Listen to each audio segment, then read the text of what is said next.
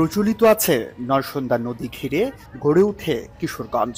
এ নদী দিয়েই পাকুন্দিয়া উপজেলার এগারো সিন্দুর থেকে করিমগঞ্জে জঙ্গলবাড়ির নৌবিহারে এসেছিলেন ঈশা খাঁ।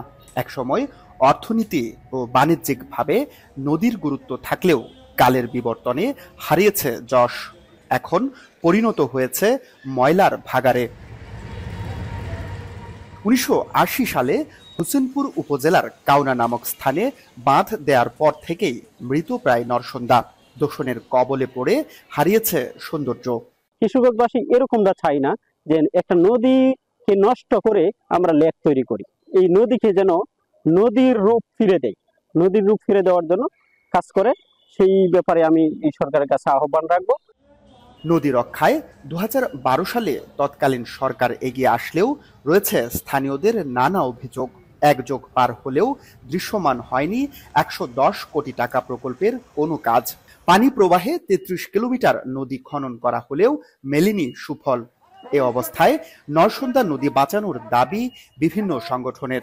বইপত্রে এই নদীটা একসময় সচল ছিল এখানে নৌকা চলাচল হতো এখন তো আমরা এটা দেখতে পাচ্ছি না। ছোট সময় আহ, এখানে সাঁতার করছি। একটা অন্যরকম আনন্দ ছিল এই নরসন্দাকে ঘিরে।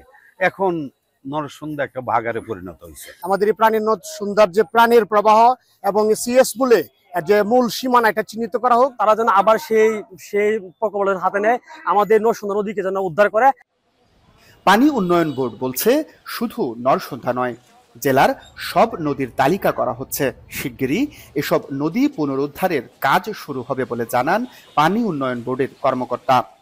জেলার মধ্যে যে নদ নদী আছে সামগ্রিকভাবে সকল নদ নদীর বাস্তবিক যে অবস্থা আছে এখন, কোথায় দখল আছে এবং দখলদার দখলদার কারা? এই লিস্ট করে পর্যায়ক্রমে এই অবৈধ দখল উচ্ছেদ করা হবে এবং এই দূষণ এবং দখলটা নিয়ন্ত্রণ করা হবে।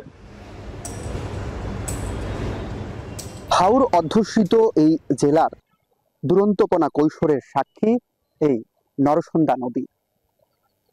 ছিল একটা সময় বাণিজ্যের জমজমাট মাধ্যম। তবে কালের বিবর্তনে দখল দোষণ আর বাধে এই নদীটির মতোই মৃত সেই সোনালী ইতিহাস। স্থানীয়দের প্রত্যাশা আবারও ফিরবে সুদিন। প্রাণ ফিরে পাবে জেলার ঐতিহ্যবাহী এই নরসন্দা নদী।